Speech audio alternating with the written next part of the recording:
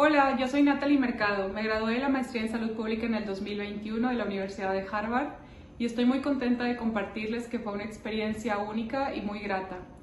La primera parte de mi maestría fue en línea por la pandemia COVID y tuve la oportunidad de trasladarme a Boston para el segundo semestre en donde hice un programa híbrido.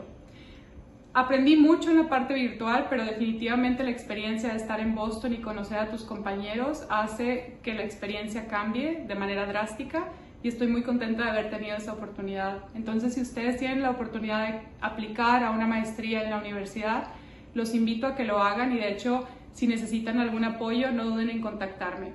Yo hice la maestría en salud pública con concentración en salud global, la cual trata de entender el acceso y los determinantes en la salud desde, desde un enfoque global.